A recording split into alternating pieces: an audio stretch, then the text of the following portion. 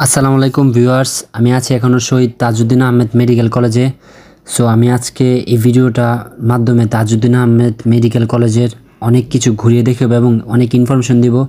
আশা করি আপনারা ভিডিওটা সম্পূর্ণ দেখবেন, তাহলে অনেক কিছু অনেকে জানতে পারেন so viewers, Tajuddin Ahmed medical কলেজটা মূলত গাজীপুর জেলার জয়দেবপুর এলাকায় অবস্থিত। এটা মূলত আমি একটা কথা বলে দিই, এটা তাজউদ্দিন আহমেদ মেডিকেল কলেজ নামে পরিচিত হলেও এটা গাজীপুর সদর হাসপাতাল নামেও পরিচিত। আরেকটা নাম, গাজীপুর সদর হাসপাতাল। তাজউদ্দিন আহমেদ মেডিকেল কলেজটি সম্পূর্ণভাবে সরকারি প্রতিষ্ঠান, সরকার থেকে নিয়ন্ত্রণ করা হয়। তাজউদ্দিন আহমেদ মেডিকেল কলেজটি মূলত দুই সালে প্রতিষ্ঠা হয়।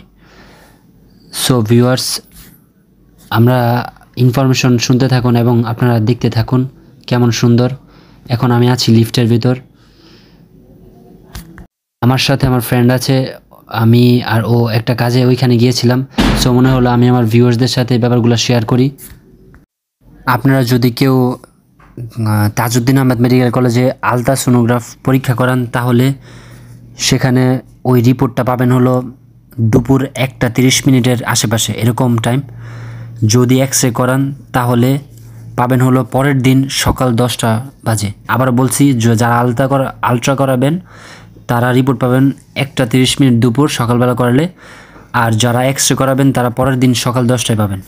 সো টিকিট কাউন্টার আছে। টিকিট কাউন্টার খোলা থাকে হলো সকাল দা, সাতটা থেকে দুপুর একটা পর্যন্ত। সকাল সাতটা থেকে দুপুর একটা পর্যন্ত। ভিউয়ার্স এই মেডিকেল কলেজটা মূলত দেখতে অনেক সুন্দর। আশা করি আমার ভিডিওটা সম্পূর্ণ দেখবেন।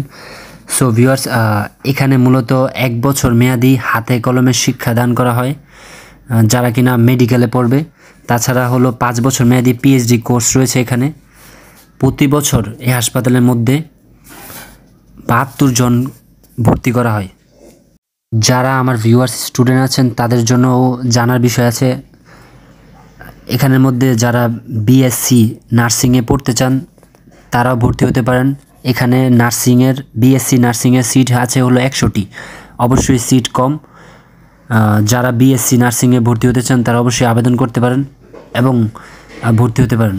এবং ক্যাম্পাসটা মোটে অনেক সুন্দর, আমি ঘুরে দেখেছি।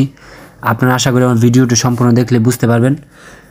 প্রাকৃতিক পরিবেশ এবং মনোরম পরিবেশ, শান্ত পরিবেশ, পড়ালেখার উপযোগী পরিবেশ, আর ক্যাম্পাসটা অনেক বড় হাসপাতাল এরিয়াটা। সো ভিউয়ার্স আশা করি আমার ভিডিও ভালো লেগেছে।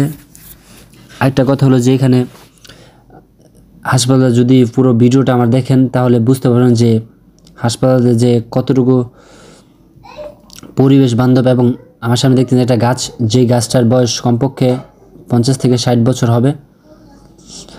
সো আমি হাসপাতালের পিছন সাইড দিয়ে যাচ্ছি।